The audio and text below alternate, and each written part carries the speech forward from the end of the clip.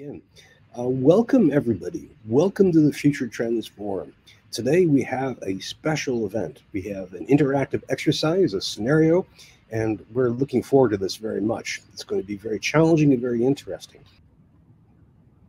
Obviously, a lot of people in the United States, a lot of people in American higher education, and quite a few people around the world are paying a great deal of attention to the American election that's coming up in a few weeks a lot's at stake in that election. Um, there are all kinds of possibilities for national and global transformation.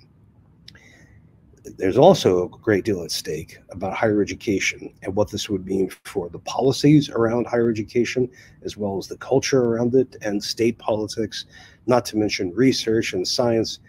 So we decided that we would have an interactive scenario here uh, in order to explore this. That is, for the next hour, we're going to posit a scenario for how the educate how the election might turn out. We'll describe this in some detail. In fact, let me just give you a little outline. The first thing we're going to do is take you through about a week after the election and sketch out how it might unfold. Uh, and then we'll give you a chance to explore that outcome and then to explore, more importantly for us and for our purposes, how you would respond to it and how you would react to it. This is a focus on higher education. Each of you will react in the role you have now.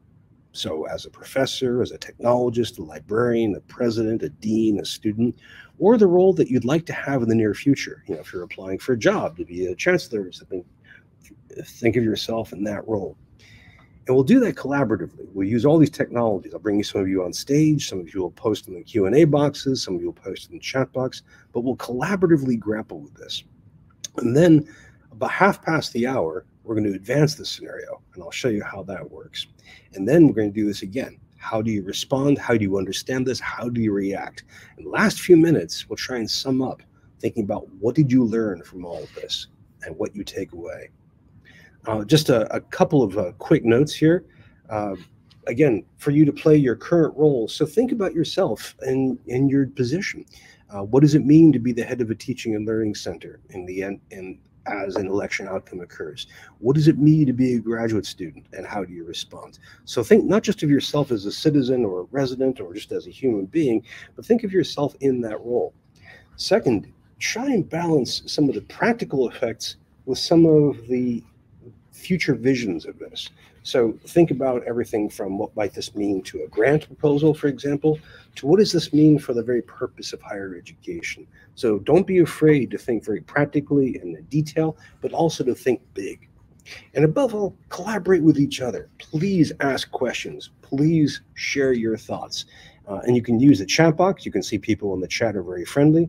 Uh, and you can also uh, share just out loud and talking with each other. This is a collaborative exercise. I'm not going to tell you what happens. We're going to work on this together. Does that make sense? Any questions about the process before we launch? Lisa, I did call you friendly. I really did. It shows you what little I know. Yes.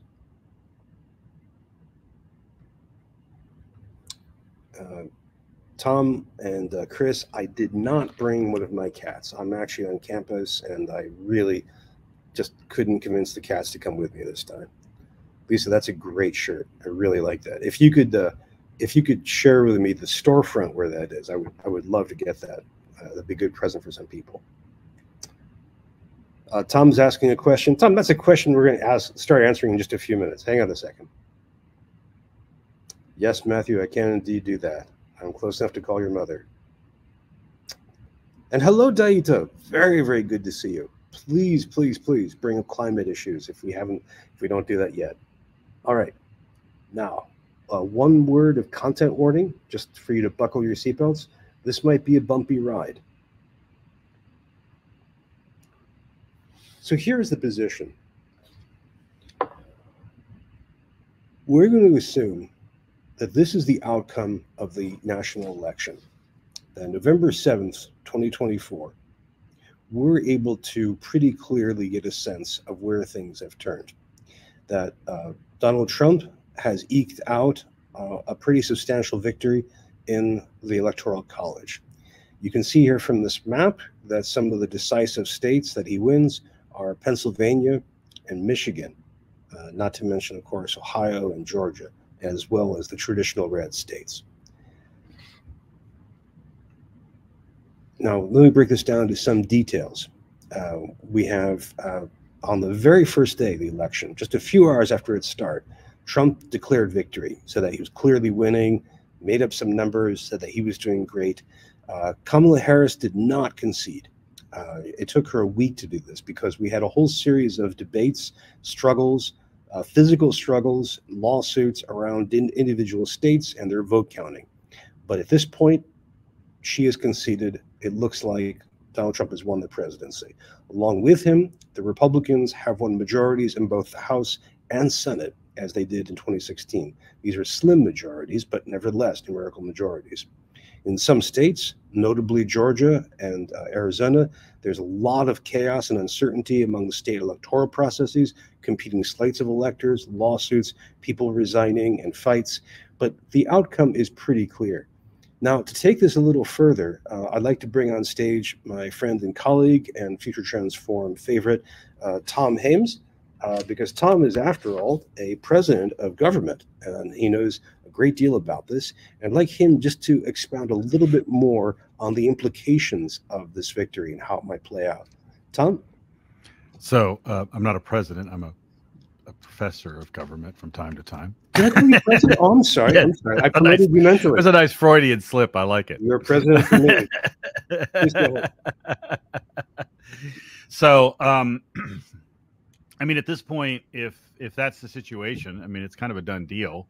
Uh, you know, usually once you get to that that level of, and again, I don't know the vote margins in the individual states based on your scenario. So, um, I think the more interesting scenarios come out come out when there are know, when it when it comes down to uh, that tipping point state being uh, contested in some way, voting you know votes in or out or whatever.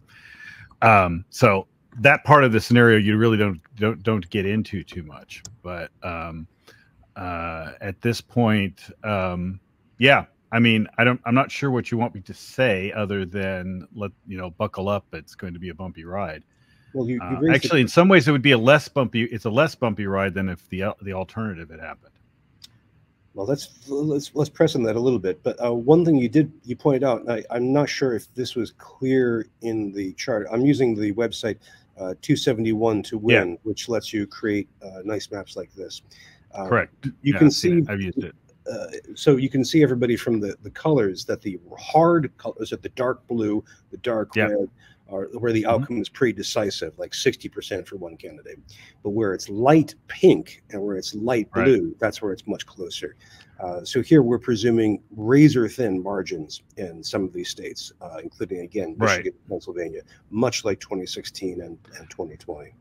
But but a razor quote unquote razor thin margin uh, uh of 51.49 is not the same as a razor thin margin of like uh, Shelby mentioned in Florida in, in 2000.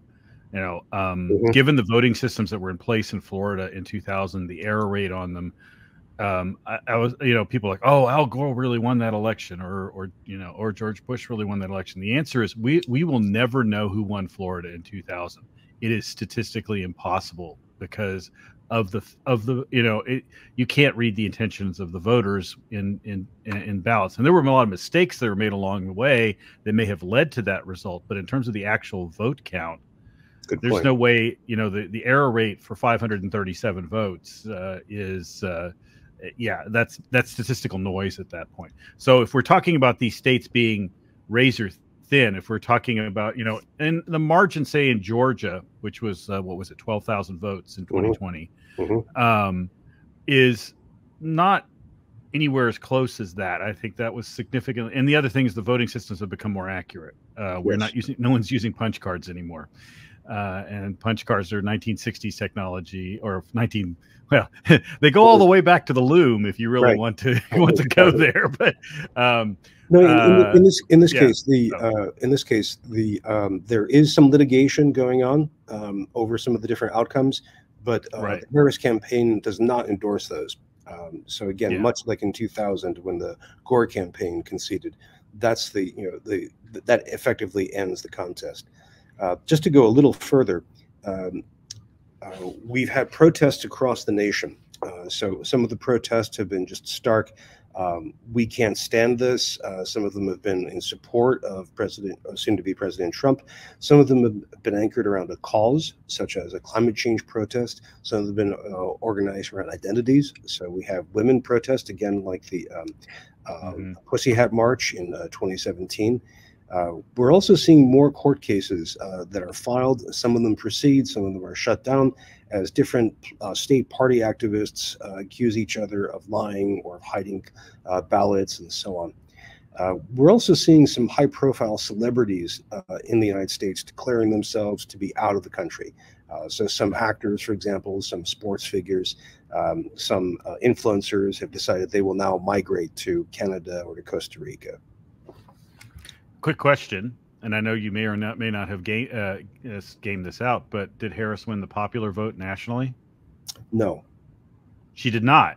Okay, no. okay, so that that that that changes the conversation slightly. You know, mm-hmm. again, one of the problems with our system is it is skewed um, yep. in certain ways, and don't forget, no Republican has won the popular vote uh, since 2004, and if you exclude 2004, it goes all the way back to 1988. Mm-hmm. So, but it doesn't. The, the game is played by the Electoral College. I understand that. I'm just saying that uh, from a perspective of grievance. Yep. Yep. The fact that you know it's this was a problem back in 2016, 2017 yep. is that you know Hillary won was it three million more votes than Trump? So there was still lost the election. Right? So there um, and and discussions over that often end in futility. In this case, um, right. there are questions of well, how did we lose the vote? Um, and uh, this has led to a lot of unrest. I just want to unfold that a bit more. Um, one of them is that uh, uh, MAGA groups are fighting Democratic protesters in different cities, starting with Portland, Oregon, as well as Washington, D.C. A lot of the fighting is simply you know, people beating each other with sticks and with shields. Uh, some of it escalates to tasers or to pepper spray. There have been mm-hmm. individual shootings and a couple of mass shootings. Uh, the mass shootings, it's hard to tell if they were political or if they were just targets of opportunity. Some of the individual shootings include uh, shooting uh, leading pol uh, political figures as well as activists. Several Trump buildings, including one in New York City, have been damaged by explosives and by paint. Uh, two more um, attempts to kill Donald Trump um, have been described and were foiled.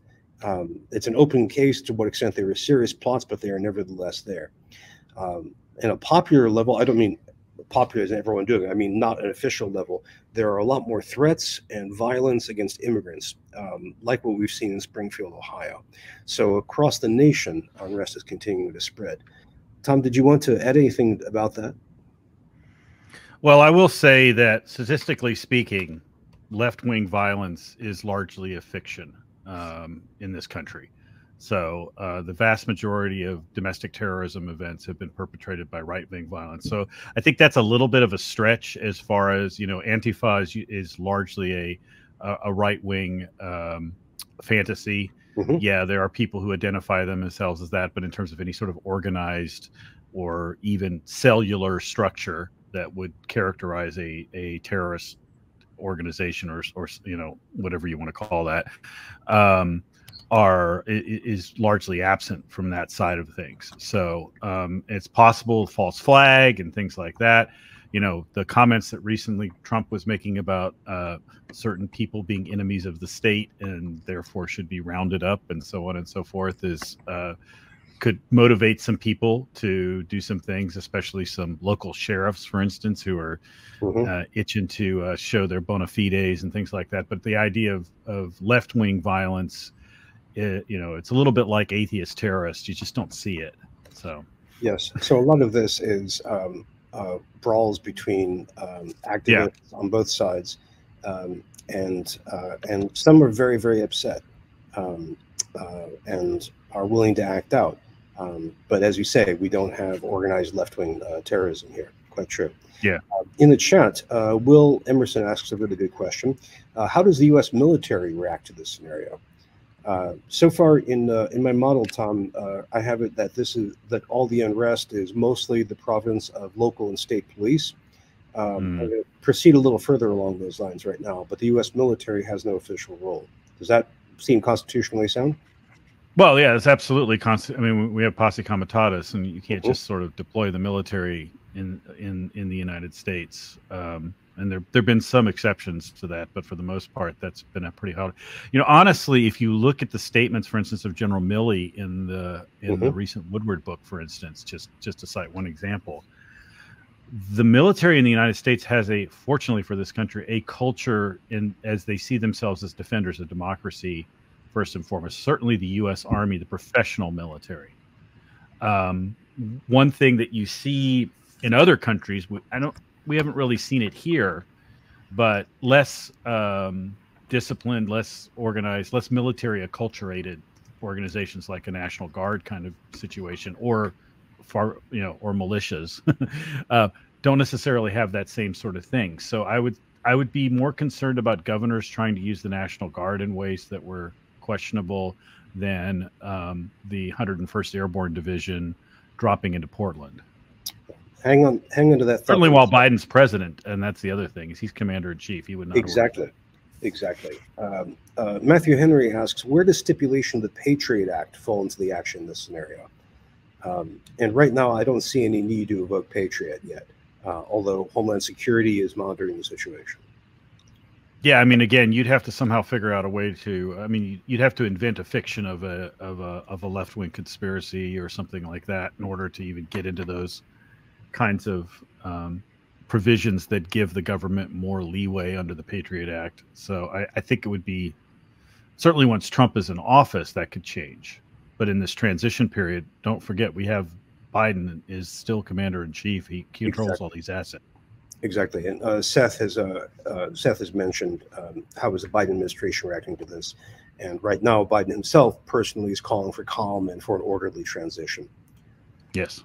Now, if we look into higher education and how this is reacting here um, in this sector, which again is the purpose of our program, uh, we're seeing a lot of students protesting, and they're protesting face to face on their campuses, and they're also protesting online in all kinds of ways. You know, from posting anti-Trump memes to organizing marches uh, to you know trying to march to a local Republican event and so on.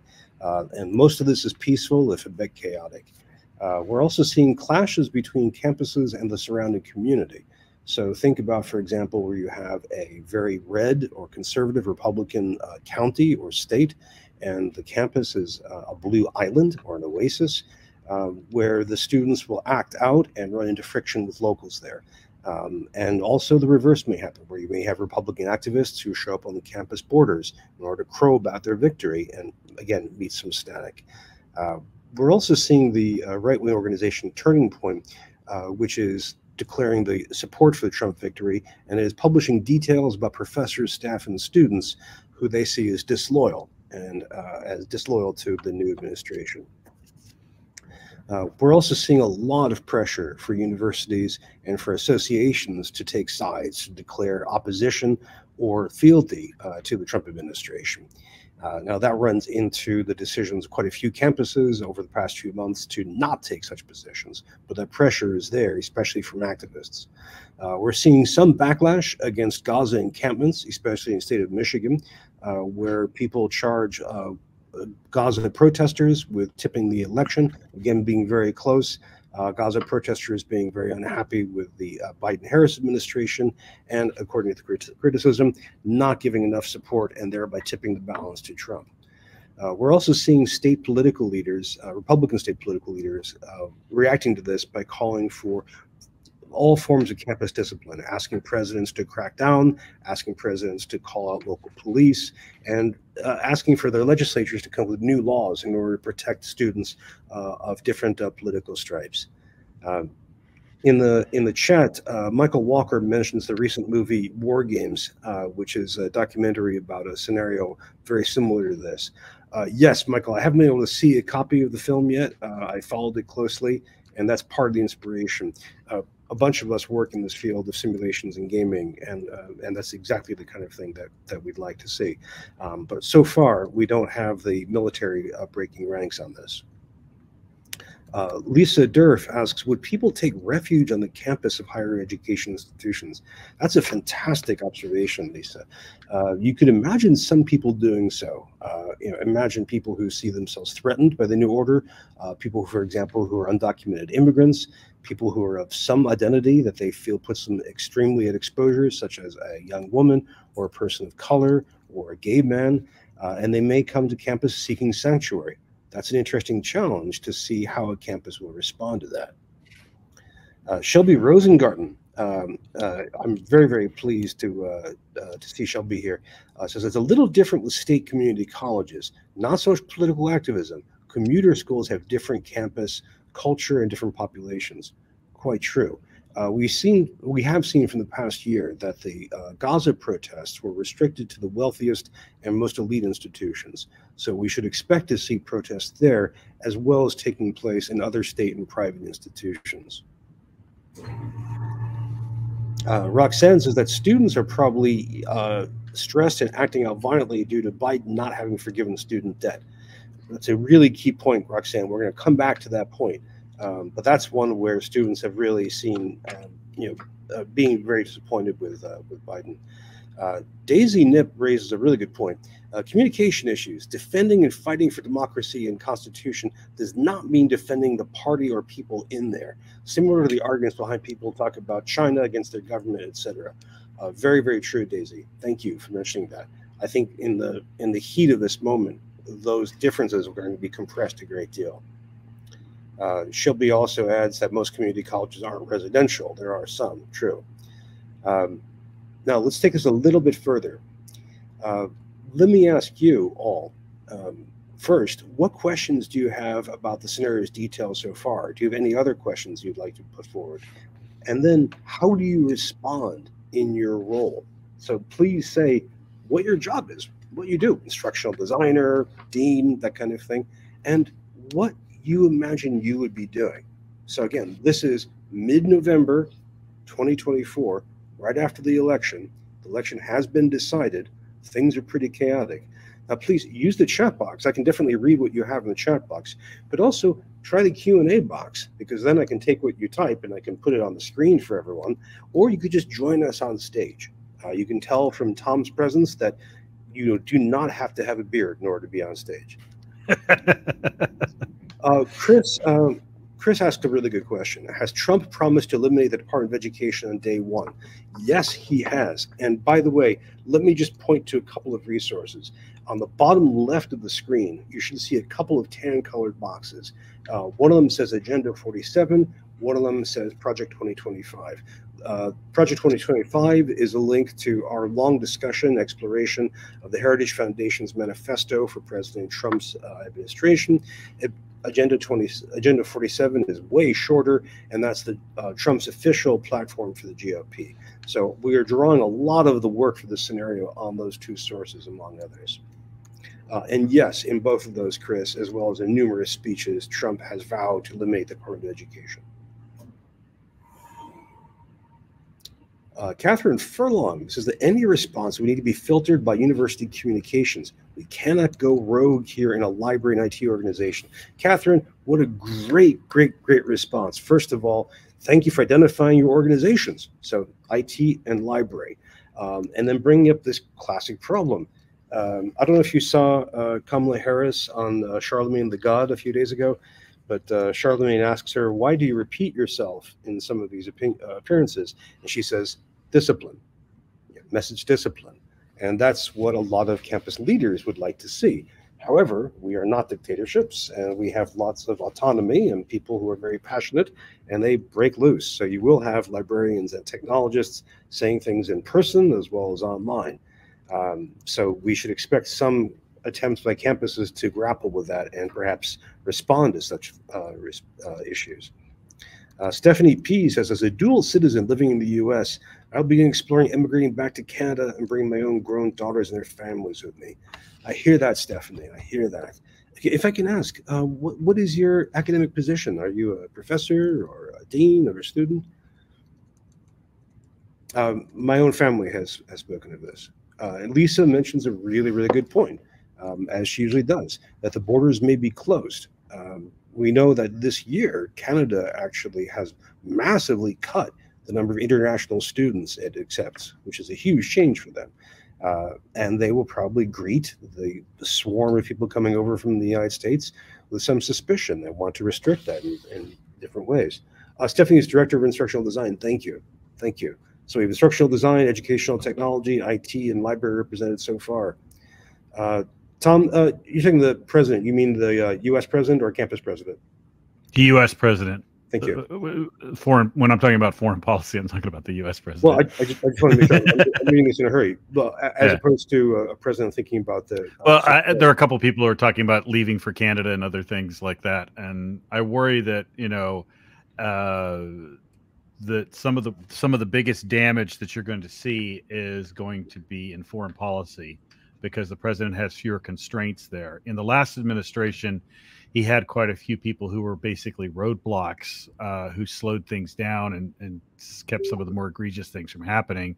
Exactly. But this he's eliminated most of those people uh, by the end of the administration. Hang so, on for a second. But that's, a, second. that's a whole other conversation. Well, no, we're going to come up to that because right now in the simulation, we're in November. President Biden is still President Biden. So um, yeah. President-elect Trump is is starting to you know the transition of putting getting his team equipped, but he's not actually legally making deals, not yet. Although he has, as we've seen, quite a few contacts. Um, uh, Adele that didn't stop him last time. I said quite a few contacts. Adele uh, Dondano asks, "Can you share again what the status is of conflicts in Ukraine, Middle East, etc.?" A fantastic question. Uh, and right now, we're assuming that the conflict in Ukraine is more or less the same as it was in uh, October. That is a grinding war of attrition with Russian advantage. Um, and we are assuming that the uh, Middle Eastern conflict has expanded significantly, but there is no there is no use of nuclear weapons in either of those theaters. Um, there's a great deal of uncertainty, of course, not to mention a great immense amounts of human suffering, both. But neither of those have have cracked wide open. Uh, some of the other possible flashpoints around the world, such as China and Taiwan, India and Pakistan, have not gone off yet. Uh, Stephanie points out a really, really important point, uh, and I just want to put this on the table uh, and ask all of you to think about this. She says that she works remotely so she can keep her job. So this is an interesting thing to think about. How many people would move across borders but still work at the same institution online? How many institutions would cut that back because of the the the the lack of control that they have over the political messaging, and that's kind of a wild card. So think about well, your state, Tom, uh, Texas or Shelby State, Florida. To pick two uh, to, to, two reliable examples, would they allow this to happen, uh, or would governors lean on, especially public institutions, to to not do that? Well, I know some institutions, uh, some states require the faculty, even the ones working remotely, to live within the borders of the state. And that's so and you know violating that that's a clear rule breach um, in the in the chat you've all hear, heard it here first uh, philip lingard says he'd be preparing to welcome u.s faculty and students to malta so you know malta is there's not enough room well, it's a small well, place well if the future Trends Forum gets first dibs i'm, I'm glad to hear it um, now, Greg save, us, yeah, save me a room, Philip. uh, Greg Shupman pointed out something that the simulation is going to be heavily influenced by the political leanings of participants quite true. Uh, nobody mm-hmm. here yet has celebrated. Um, wow, Trump victory, awesome. Um, people are uniformly opposed to it. Uh, I've been trying to position this in a neutral way uh, as possible, trying to keep my own political leanings uh, out of this. Uh, but this is a good point, Greg. And this is one of the ways that simulations like this work, where they're constituted by participants. I hope everybody here feels free to express themselves uh, openly. Um, by the way, if if we get to save this and post this, I would love to share this chat. Um, if I, will as usual, my, my, usual practice, I'll anonymize it. But please, in the chat, let me know if you uh, if you don't want to do that. Uh, Shelby says uh, we focus on some media literacy in my classes. It takes time to analyze and reflect on what we're reading and viewing. I imagine a fire hose onslaught would be hard to sift through. Not sure how to handle discussion in class if it gets uncivil. This is a really, really crucial point. Aren't we already many, there? I think so, but I think this will really, really heighten it. I mean, imagine Tom uh, teaching a class on something that isn't election related, uh, photography, right, or a class mm. on French grammar the next day, and the students are like, I, I, I can't do this. I am I want to talk about what happened at the polls, or I want to talk about why Harris conceded, uh, or the faculty can be the same way. Uh, or mm-hmm. staff. You know, you're checking out books in the library. The person's like, "Oh, I can't believe this is happening." Um, with added to that, the fire hose, as Shelby puts it, of information, the constant stream of, of videos and memes and clips and stories. Um, you know, I, I positioned some of the details of the scenario in a kind of hedged way to allow for that, you know, that some of these aren't quite sifted out yet. Uh, that's a crucial point, crucial point, Shelby. Um, Philip will ask us to recommend uh, uh, experience of changes in Hungary and Turkey. Very, very useful ones to look at for that. Thank you, Philip. Thank you, Philip. Didn't like half the Central European University relocate to Vienna? Uh, it did, Budapest? the entire one. Yeah, yeah, it did. That's a really good example. Uh, I mean, and in part because they, you know, they felt pressured, but also the pressure was real. Um, there was a lot of hostility from uh, Fidesz for that. Uh, Lisa reminds us to think about the difference between public and private institutions. Uh, so I give you one example. Uh, in 2016, November, after the election, uh, a group of students at a private college in Ohio uh, had a, a very uh, upset um, protest um, on the edge of campus, and this led into interactions with local uh, businesses, which ultimately led to lawsuits, which cost or over millions of dollars. Amber Stokes says, "I've always heard progressives say they'll move to Canada, but recently I heard a Trump supporter say if Harris is president, they would go to Canada." That was a shift for me to hear. So either result could create an issue with Canadian border. Quite true, uh. I, would think about the states along those lines, especially uh, New York, uh, Washington, Vermont, New Hampshire, Maine, uh, Michigan. Uh, Matthew says moving away from America, financial means could be cut off or not allowed between the U.S. and other countries. Uh, good point. Good point. Um, and Chris adds, uh, Southern New Hampshire University requires them to live in the U.S., so that's another boundary. Um, all right, I want to push this further a little bit further uh, forward because we have to we have to get this going. But I do want to share one last note from Charles Findlay. He says, "I'd be fearful of the continued operation of large universities that are dependent on the enrollment of international students. I would also be fearful of the safety of such students and the perceived desirability of becoming a student in the U.S. Very much so." That's coming right up. That's actually a good transition. How has how has the international student population recovered in the last four years? Has uh, it? Much better, yeah, uh, much better. Not quite. Uh, I mean, depending on the numbers, uh, and we're going to actually have a forum session about this in a couple of months. Um, mm-hmm. But it's uh, but it's better than under Trump. Um, but we may see a reprise of this. Now, what I'd like you to do is take the scenario forward a few months. So advancing the clock for November 2024, I'd like to take you to late January, early February 2025. So this is where the Trump administration becomes installed. The president is inaugurated. We have offices starting to be filled, policies starting to be issued. And as you can tell from this image here, this is the amount of protests and unrest and chaos continue. So some of the actions that the Trump administrations begin with uh, are not surprising uh, a massive de deportation of undocumented immigrants begins, uh, being conducted by multiple forces led by uh, ICE. Uh, he issues a series of executive orders on day one and then day two.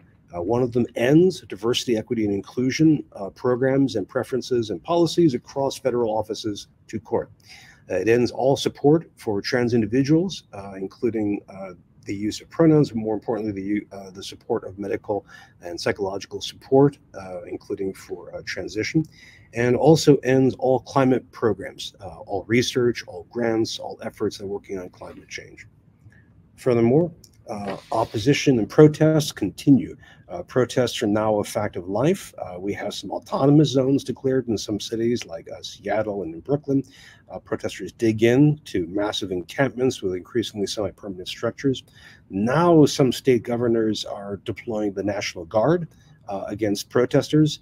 Now that Trump is president, he's declared his willingness to sic the army on uh, individual protesters as well, or individual protests. Uh, globally, markets are in turmoil. We're seeing everything from uh, from Europe to Japan. Uh, we're seeing uh, values of stock markets going up and down. lots of liquidity happening um, in response to and anticipation of what might happen next. in terms of higher education, uh, a whole series of bills uh, pop up in Congress. One of them is simply to abolish the Department of Education, break up its functions, and distribute them to other units.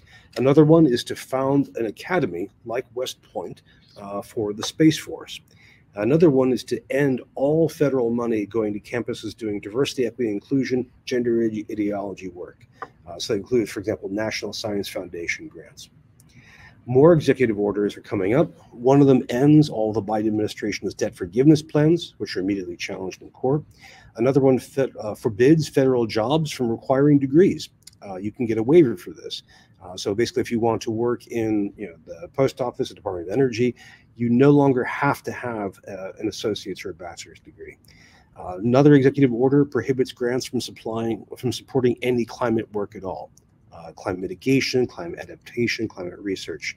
Uh, another executive order suspends any federal funding to campuses that have significant Gaza encampments. Now, again, this is also immediately decried by universities. Uh, other executive actions, uh, other executive orders, one of them ends federal support for any educational programs and schools teaching DEI or gender ideology. Again, this is one that's going to go straight to the courts.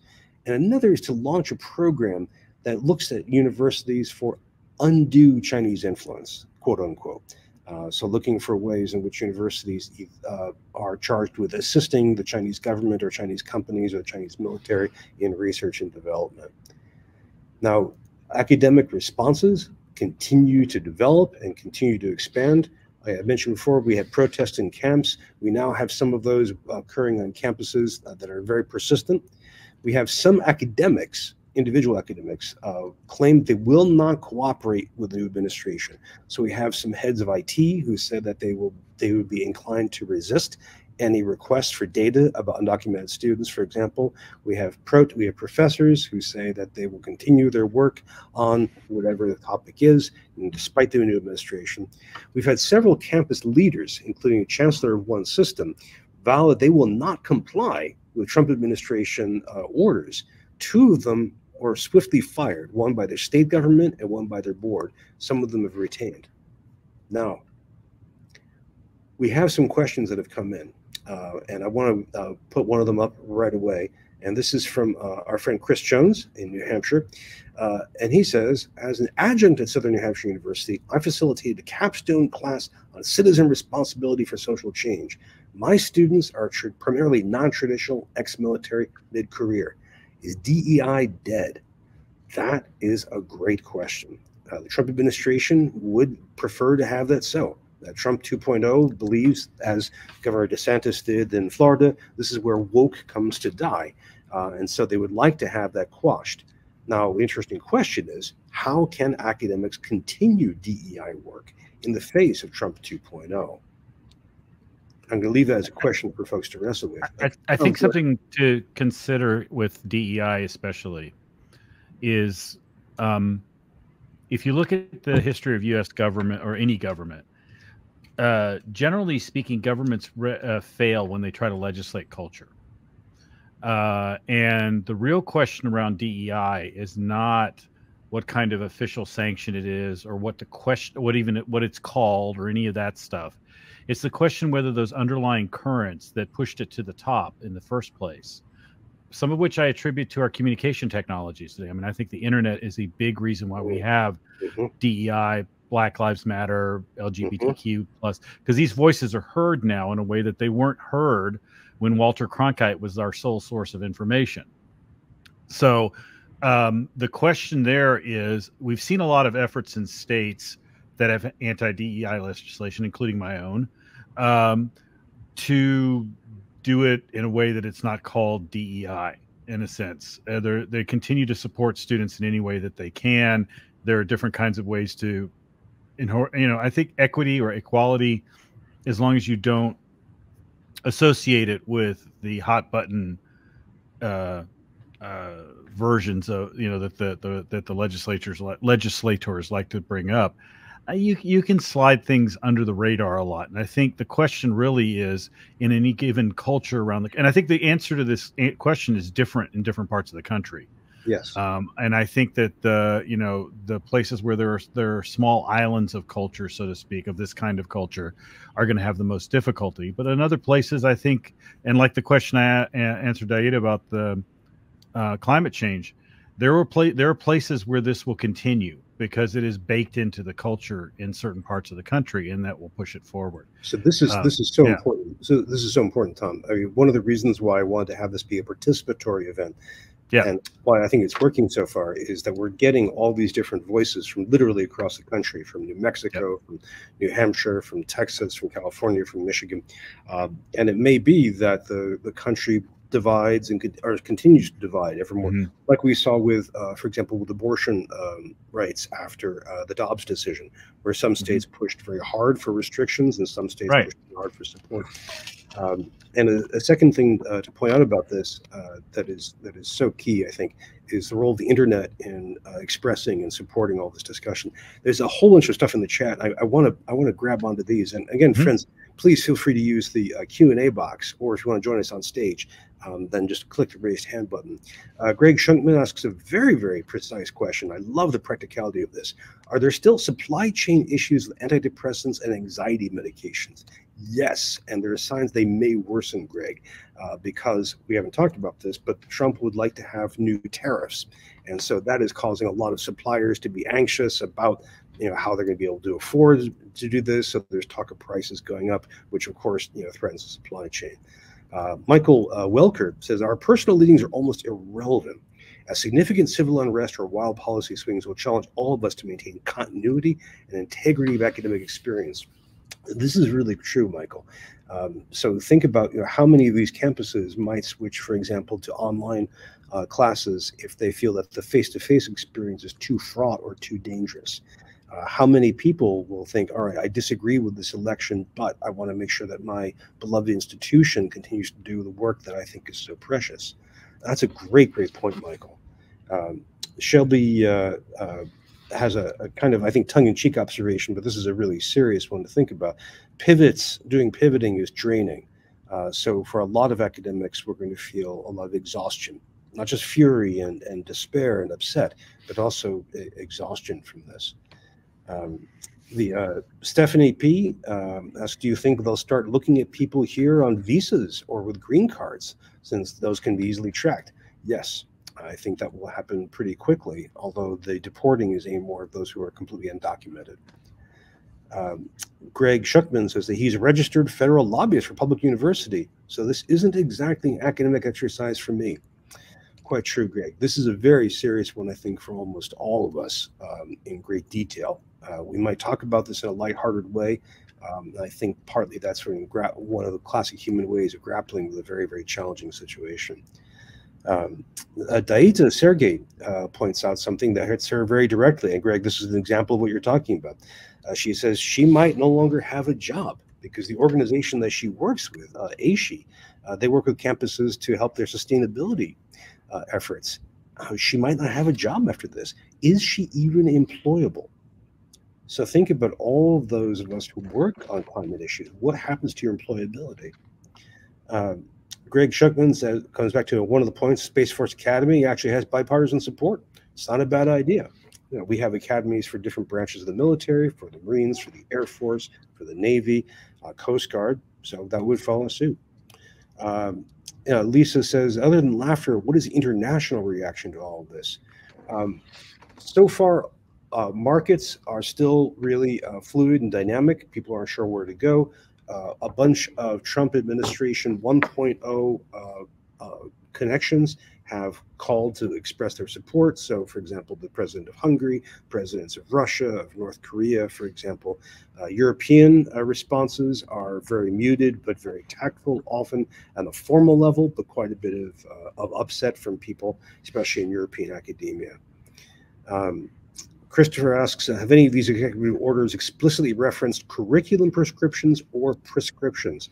Thank you for phrasing it like that. Um, right now, yes. Uh, the executive orders against um, uh, DEI, and here, let me bring this back, uh, gender ideology, again, quote unquote, um, and also um, for um, any grants supporting climate work. So that includes quite a few academic institutions running with that. Uh, Greg adds that looking at university collections to connections to China are already underway in the Department of Defense, but there are lawmakers who want to expand that. Uh, quite true. One of the uh, House committees, led by Republicans, just issued a major report uh, dunning all kinds of universities for supporting China in different ways. We also saw a um, arrest of four students recently graduated from the University of Michigan for taking photos of a state of Michigan uh, military installation. Uh, in the chat, we have questions from uh, another question from Chris Jones, and let me bring this one up here. Uh, thank you, Chris, for this. Um, there was already a Republican pushback to spending and tax cut proposals, even though Republicans will there be divided government in terms of policy? Uh, that's a good question. Uh, so far, it looks like a unitary government in a few ways. We have uh, Republican majorities in the House and Senate. We have Republican White House, and also we have the honeymoon period. You know, the initial uh, days after the installation of the new administration, uh, the famous hundred days period for some, uh, where they try and get that done. Uh, now, will there be dissension within the ranks? so far, um, Trump has worked very hard against that, but it's possible that we could see more splits beginning to occur. Um, uh, Shelby, if you want to say more about your experience with uh, with Florida, because uh, obviously DeSantis and Governor DeSantis and President Trump are very different people, but they um, but um, there's quite a bit of uh, of trial um, that has gone on under DeSantis to really try to corral and influence higher education. If you want to share anything about this, uh, I'd, I'd, really appreciate that. Um, uh, Michael L. Welker says, just connect the dots that my anniversary vacation will be in late November. Traveling through multiple states will be interesting either way. Indeed, Michael. Uh, what a road trip. Uh, if you're going to be by, by train or by car, you'll get a chance to uh, see a great deal. Um, let's see, we have uh, more questions and more comments. Uh, Seth says, I suspect the great sorting of the left leaning to the coasts and right leaning to the south and center Longer term consequences, scary. You're a Californian. Uh, yeah, it seems that people who can't leave uh, their, uh, the nation for whatever reason or decide not to, uh, moving to areas of, uh, that are more politically congenial. Uh, so, you know, more conservatives moving to, you know, Florida, Alabama, Idaho, more progressives moving to New York. Not as much to California, as you know, California's population has declined for a couple of years as people are, are starting to have a net moving out. Um, but that great sifting uh, seems likely to continue. Um, John Henry, uh, the uh, the we are right now in the second part of this scenario. Um, I have a question to ask along those lines uh, before we leave.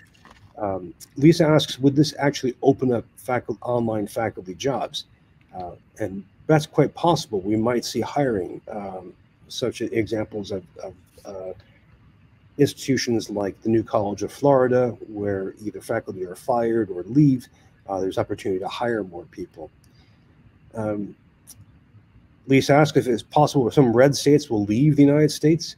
Uh, I wouldn't see that happening right now at this moment in the scenario because their their political allies are triumphant at the national level. I would think at this point the blue states would be the ones leaving the Republic of Cascadia.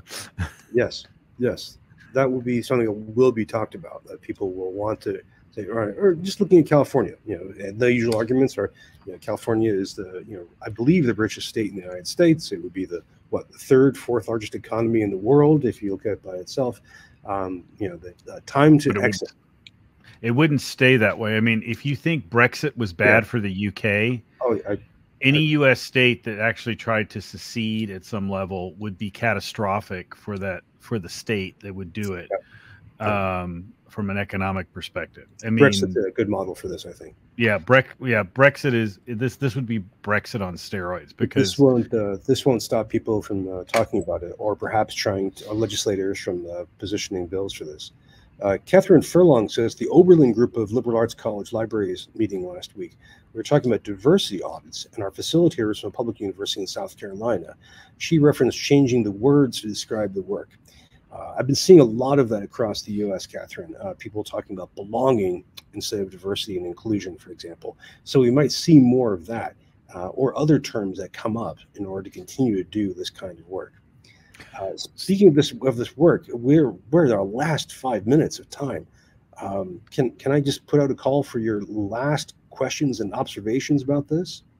Can I make a quick observation about federalism? And that uh, is very, that very quickly Yeah, very quick. I know. Um, the um, you know one of the things the Republicans did do in certain areas, they're not consistent about this, but with with you know with the uh, uh, abortion question, for instance, you know they they they they push that lo- that decision making down to the states. Well, that cuts both ways, and the states might feel uh, you know it's it's and a lot of federal power, a lot of U.S. federal power is based on throwing federal money at state level problems. And mm-hmm. so uh, uh, that only works because they're basically being paid to, you know, and that same thing goes for universities and so on that support and that. If the states decide to take over that funding, that federal power is diminished. Uh, and um, the actual formal powers that the the US federal government has over domestic policy are actually quite limited in the Constitution. So um, we've just had the system that's built up over these years since we've had the administrative state for the last century, where the federal government's had all this money because of the income tax that has been able to control what the states are doing through funding. You know, how did we raise the drinking age to 21 everywhere? We cut highway funding for those states that didn't do it, right? So this kind of works in reverse too, though. But then the states have to step up and fund these things, and the states are always screaming poverty but maybe we need to rethink that. Well, that's a really, really good point, Don. Uh, that's a wow. Um, that's a really, really deep insight. As usual, you you always do this in the forum. You have these very penetrating insights, and that uh, I, would like to um, ask all of you uh, a couple of quick logistical questions. Then I want to ask you to reflect a bit on on this experience. Uh, uh, first of all, um, would you mind, those of you who've been using the chat, uh, would you mind if uh, I uh, use your chat in a blog post, just you know, digest it and, and paste it by anonymizing you? Uh, Chris Jones, do you mind if I include uh, your questions? I can anonymize you as well, if you course. Lisa, Daisy say yes. Uh, Arthur, or sorry, Amber points out uh, she can see travel trade restrictions being the greatest universal in hindrance. Uh, you definitely see this. Imagine it might be difficult to buy, say, uh, Vermont maple syrup in uh, Georgia. Um, a second question, or just a practical question to ask you all, is this scenario was premised on the idea of Trump winning the election. Would you like next week to run the opposite version of this exercise where Harris wins? Uh, if you could just please let me know in the chat. We should have time to build that out. Uh, see some enthusiastic yes. Wow. Okay. Okay. Um, I'll take that as a uniform yes. Then let me ask you to step back from what we just have just done for the last uh, 49, 59 minutes. What did you think of this experience? What did you learn from this? What can you take away from it? Besides wanting to have a perpetual Bryan and Tom show as a as a regular program. Careful what you wish for. Next week, I'm only here for the last third of this the session because I have conflict again next week. Understood. uh, Lisa talked about us in terms of civil war, and that is one of the options that some of us have been uh, thinking about very carefully. Hmm. Uh, Daisy, I'll definitely try and make it uh, as fair as possible. Chris, I'm, I'm sorry to add to your anxiety. I, I, I did warn everybody. Um, John Henry, um, more chaotic. Exactly. Uh, exactly. That's that's where we're headed for this. I, I would be real careful about saying civil war is coming. I, I think the, the the population is too. It, it's, it's a completely different world than in 1860 as far as the oh. intertwingling of the population across the country. And you know there were pockets of unionist support in the South and pockets of Confederate support in the North, uh, but nothing like you know Atlanta in Georgia is yeah. today, or or Houston in Texas, or Austin in Texas, it, and we didn't have that kind of information space either. So I, I just don't, I don't see it. Uh, civil unrest, yes. Civil war, that's eh, I just don't see that happening. Okay. Thank you, thank you, Tom. That's a really good caution. Um, John Henry asks us to keep in mind the chaos and the aftermath.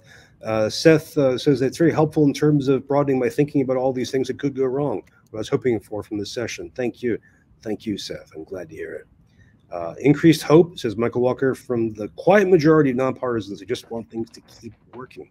Yeah, I mentioned that before. Mm-hmm. Um, says it's worse than I thought. So, it's the part of the professional responsibility of futurists. We have to be open to all these possibilities. And your work that you do is very, very important. Um, Shelby says uh, that they missed the golden age of 2012. we were only worried the Mayan apocalypse would come true. Well, let's uh, let's see what we can do. Um, uh, Amber points out crisis planning is a required skill set in higher education now. Yes, and that's the spirit of this exercise.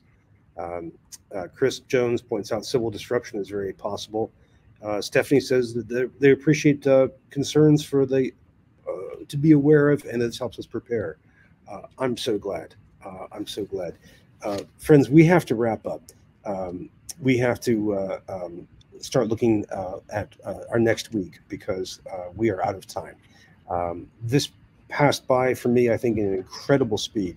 Um, and I, I want to thank everybody uh, for um, for putting all this all this thought together.